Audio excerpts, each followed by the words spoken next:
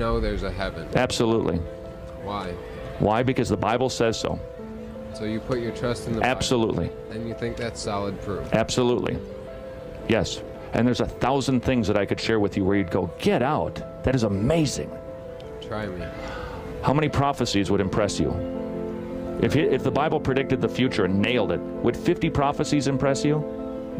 Maybe. 100? Maybe. 150? I don't know. Come on, at some point you got to be getting impressed. I mean, if the Bible had two, 150 prophecies that it just nailed, wouldn't you kind of go, hmm, it hasn't missed any? That's pretty Yeah, impressive. I guess. Okay, 230. Sure. That's impressive, man. It nails dates, it nails people, it nails events time and time again. It's supernatural. Listen, right now, God is begging you to consider it. He's begging you to consider it. It's His Word. If you dig into it, I'm telling you, it'll prove itself to you. It's axiomatic, it'll prove itself to you. It proves it. And it's all about wanting to save you. That's all God wants to do. See, God doesn't want you to go to hell. Okay. He doesn't want that to happen to you. I know maybe right now you don't care too much about your life, but I know you do. To a degree. Yeah, sure. Yeah, I mean, really. Would you sell me your eyes for $3 million?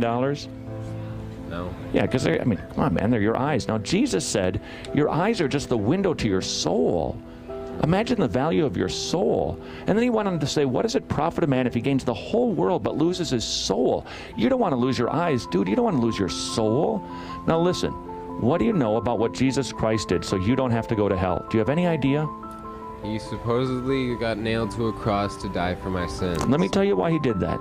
Because the Bible teaches there's no forgiveness of sins without the shedding of blood. So God Himself, Jesus Christ, did the nicest thing. You think people are bad? God did the nicest thing for you. He died for you. He shed His blood so your sins could be forgiven. Now, man, maybe some people have been nasty. God has been extremely kind to you, and He proved it by dying while you were still a sinner. Okay. Now, your sins can be forgiven by God. He says He'll forgive you. And on the day of judgment, when you stand before Him, He'll say, Not guilty, come on in.